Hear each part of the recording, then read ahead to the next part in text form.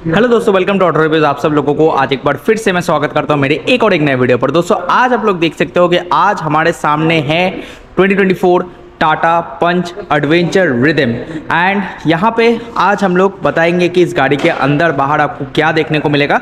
सबसे पहले I will talk about the price तो प्राइस की बात करेंगे तो यहाँ पे आपको seven lakh thirty five thousand का एक्स शोरूम प्राइस आपको देखने को मिल जाएगा। तो ऑन रोड आपके शहर के ऊपर डिपेंड करेगा कि आपको कितना ज़्यादा ऑन रोड आने वाला है।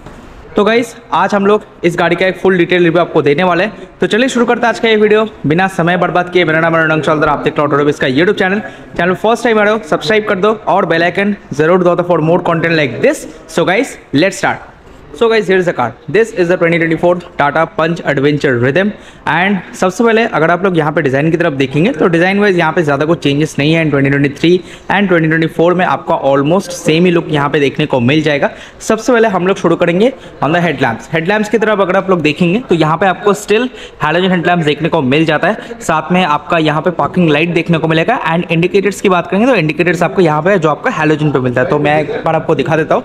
तो या गाइस देख सकते हो कि यहाँ पे आपको हेलोजन इंडिकेटर्स आपको देखने को मिलेगा।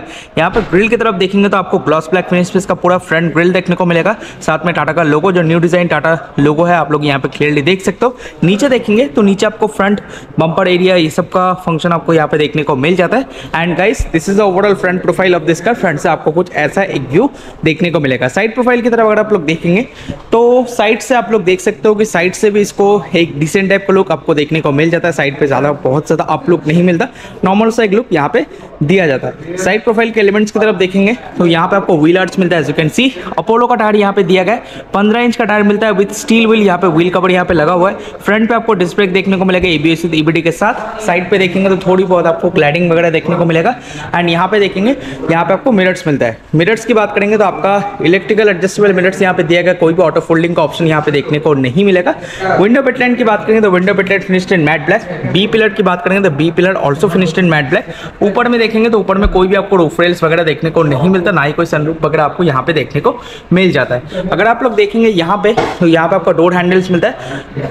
बॉडी कलर डोर हैंडल्स यहाँ पे दिया गया यहाँ पे आपको डोर हैंडल मिलता है जो आपका ब्लैक कलर में दिया जाता है। नीचे देखेंगे तो नीचे आपका फ्यूल लेट मिलता है, इसको ओपन करके बेसिकली आप लोग इस गाड़ी में तेल डलवा सकते हो। और यहाँ पे देखेंगे तो यहाँ पे आपका रियर पे व्हील आर्च रियर टायर की बात करेंगे तो यहाँ पे अगेन आपको अपोलो का टायर मिलता है। पंद्रह इंच का टायर यहाँ पे दिया गया एंड टायर साइज़ की बात करेंगे तो चारों टायर्स भी आपको 185 70 का सेक्शन टायर देखने को मिल जाएगा। यहाँ पे भी आपको रियर पे स्टील व्हील मिलता है व्हील कवर के साथ एंड पीछे आपको ड्रम ब्रेक दिया गया एंड ऑल्सो चारों टायर्स पे आपको एपीएस ईबीडी भी देखने को मिलेगा। So guys this is the overall side profile of this का साइड से आपको कुछ ऐसा एक व्यू देखने को मिल जाता है। अगर आप लोग बात करेंगे यहाँ पे रियर प्रोफ़ाइल के बारे में तो रियर से भी देख सकते हो कि रियर से भी इसको काफ़ी ज़्यादा एक सिंपलिस्टिक सा लुक आपको यहाँ पे देखने को मिलेगा। सबसे ऊपर देखेंगे तो यहाँ पे आपको एक एंटेना देखने को मिलता है फॉर रेडियो पर्पज़ यहाँ पे आपको हाई माउंट स्टॉप लैम्प कोई भी डिफॉगर या कोई भी रियर वाइपर आपको यहाँ पे देखने को नहीं मिलता गाइस यहाँ पे देखेंगे तो आपका टेल लैम्प्स मिलता है हेलोजन इंडिकेटर्स के साथ एंड टेल लैम्प्स भी आपको हेलोजन पे ही देखने को मिलेगा. यहाँ पे आपको टाटा का लोगो यहाँ पे देखेंगे तो आपको कैमरा दिए गए, नीचे आपको पंच का बैजिंग जो आपको क्रोम फिनिश में मिलता है, और नीचे देखेंगे तो आपको rear bumper along with reflectors and साथ में यहाँ पे आपको रियर पार्किंग सेंसर्स देखने को मिल जाता है. साथ में यहाँ पे आपको एक रिवर्स लाइट भी दिया गया है. तो गाइस यही था इस गाड़ी का रियर प्रोफ़ाइल रियर से आपको कैसा लगा, आप हमें कमेंट सेक्शन में ज़रूर बताना। अभी हम लोग देखेंगे इस कार का बूट तो इस गाड़ी में आपको इलेक्ट्रोमैग्नेटिक टेलगेट आता है एज यू कैन सी सबसे ऊपर देखेंगे तो पार्सल रियर शेल्फ आपको यहाँ पे देखने को मिलेगा। यहाँ पे आपको बेंच सीट दिया गया, कोई भी सिक्सटी फोर्टी का ऑप्शन आपको देखने को नहीं मिलता। यहाँ पे देखेंगे तो आपका कैब मतलब बूट लैम्प मिलता है। साथ में आपको शॉपिंग हुक भी देखने को मिलेगा। तो बूट लैम्प आपको एज यूजल हेलोजिन पे देखने को मिलेगा। एंड यहाँ पे देखेंगे तो राइट साइड पर आपको शॉपिंग हुक देखने को मिल जाता है। एंड इस शॉपिंग हुक का आप एक के का सामान यहाँ पे आराम से डाल सकते हो। यहाँ पे देखेंगे तो आपका स्टोरेज स्पेस जो है आपको डिसेंट टाइप का स्पेस मिलेगा। आपका दो मीडियम साइज़ के सूटकेस यहाँ पे आराम से फिट हो जाएगा विदाउट एनी प्रॉब्लम यहाँ पे देखेंगे तो आपका तो लोडिंग लिफ्ट है लोडिंग लिफ्ट यहाँ पे थोड़ा सा ऊँचा दिया गया है यानी कि अगर आपका थोड़ा सा भारी सामान हो, और आप थोड़े बुज़ुर्ग इंसान हो तो आपको यहाँ पे सामान उठाने में थोड़ा सा दिक्कत यहाँ पे आने वाला है। बाकी इसके अलावा आपको और कोई प्रॉब्लम यहाँ पे नहीं आने वाला है। So guys this is a boot का फंडा बूट में जो जो तो मैंने आपको सब कुछ दिखा दिया। अभी हम लोग करेंगे इस गाड़ी के टेलगेट को बंद एंड जाएँगे इस कार के इंटीरियर पे। सो so गाइस अभी हम लोग चलेंगे इस कार के इंटीरियर पे। सबसे पहले अगर आप लोग दरवाजे की तरफ़ देखेंगे तो दरवाज़ा आपका एज यूजल डोर कलर में यहाँ पे देखने को मिल जाएगा। यहाँ पे देखेंगे तो यहाँ पे आपको इनसाइड डोर हैंडल देखने को मिलेगा। यहाँ पे देखेंगे तो ऑल फोर पावर विंडोज़ का कंट्रोल देखने को मिलता है। ओ का कंट्रोल आपको यहाँ पे देखने को मिलता है। तो एज यूजल आपको इलेक्ट्रिकल एडजस्टमेंट मिलता है। कोई भी ऑटो फोल्डिंग का ऑप्शन देखने को नहीं मिलेगा। स्टोरेज स्पेस हार्ड प्लास्टिक नीचे देखेंगे तो आपको बॉटल रखने का जगह। स्पीकर का प्लेसमेंट आपको यहाँ पे मिलेगा। यहाँ पे देखेंगे तो आपको एसी वेंट्स मिलता है। यहाँ पे देखेंगे तो आपको ड्राइव मोड मिलेगा। बेसिकली इको ड्राइव मोड के लिए एक बटन मिलता है और साथ में ऑटो स्टार्ट स्टॉप का फ़ंक्शन भी यहाँ पे देखने को मिल जाता है। यहाँ पे चाबी का सेक्शन मिलता है, कोई भी स्टार्ट स्टॉप का फ़ंक्शन आपको इस वेरियंट पे देखने को नहीं मिलेगा गाइस सीट्स की बात करेंगे तो सीट्स आपका फैब्रिक अपोल्स्ट्री में मिलता है ब्लैक कलर में इसका सीट दिया गया है। यहाँ पे जो टेक्सचर मिलता है टेक्सचर मुझे थोड़ा सा इन पर्सनली पसंद आया बिकॉज़ ये टेक्सचर थोड़ा सा यूनिक डिज़ाइन का टेक्सचर यहाँ पे देखने को मिल जाता है। ये पहले भी आता था। यहाँ पे देखेंगे तो यहाँ पे आपको हेड्रेस मिलता है। एडजस्टेबल हेड्रेस यहाँ पे दिए गए जिसे आप अपने कंफर्ट के हिसाब से एडजस्ट कर सकते हो। एंड सीटिंग जो कंफर्ट है कंफर्ट इज़ गुड मुझे यहाँ पे कोई भी कंप्लेंट नहीं है।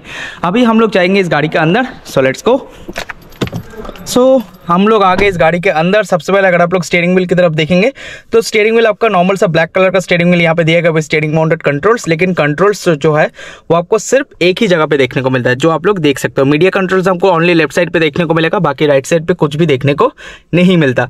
वाइपर का कंट्रोल आपको लेफ़्ट साइड पे मिलता है हेडलाइट का पूरा कंट्रोल आपको राइट साइड पे देखने को मिलेगा।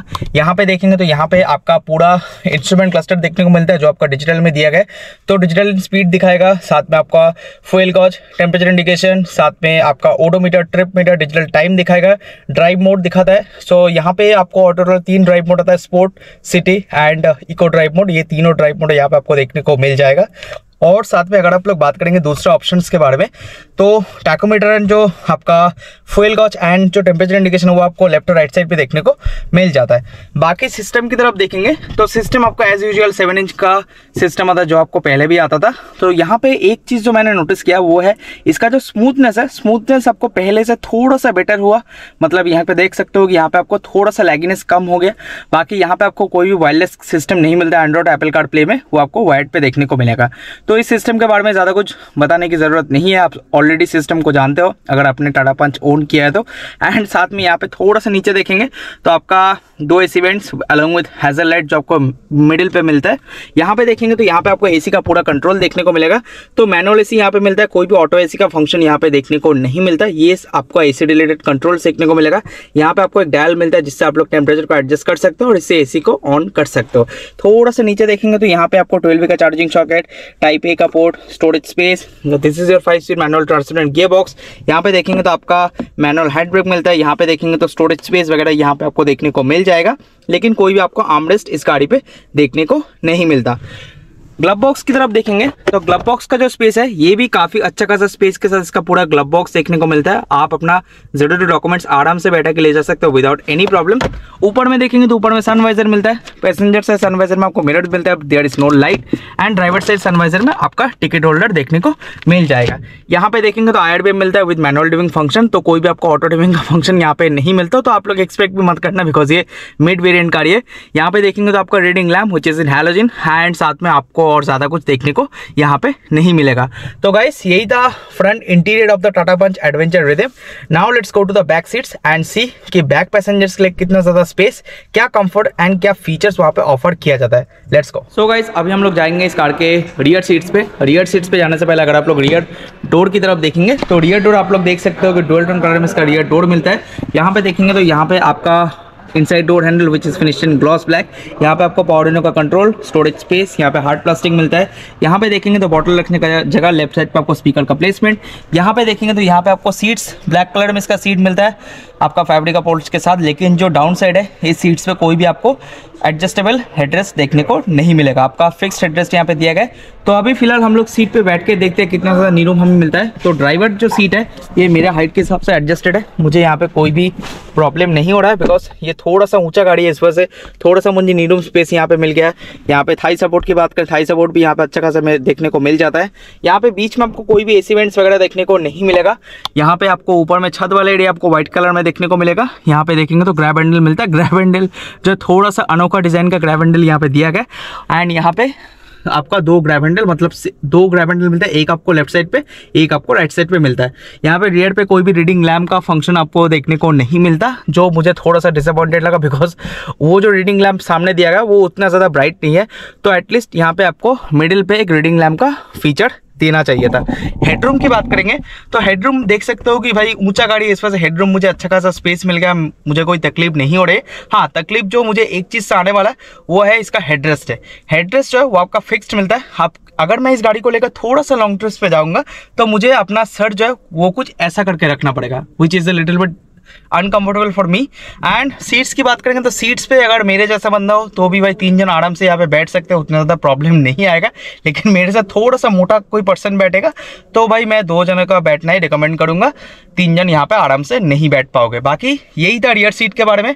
अभी हम लोग जाएँगे इस गाड़ी के बाहर एंड मैं अपना वर्डिक शेयर करूँगा। Let's go so guys this was my detail about the 2024 Tata Punch Adventure Rhythm अब यहाँ पे अगर आप लोग ऑन रोड की बात करेंगे तो ये गाड़ी अगर आप लोग कोलकाता से देखेंगे तो आपका साढ़े आठ लाख के आसपास ये गाड़ी का प्राइस पड़ जाएगा।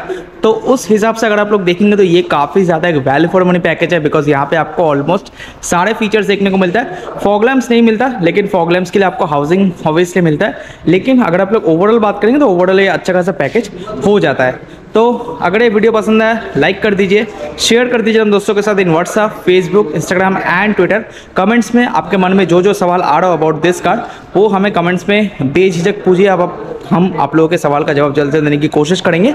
और अगर आप लोग चैनल फ़र्स्ट टाइम आ रहे हो सब्सक्राइब कर दो और बेलाइकन ज़रूर दो for more content like this so guys thank you Take and Drive sir goodbye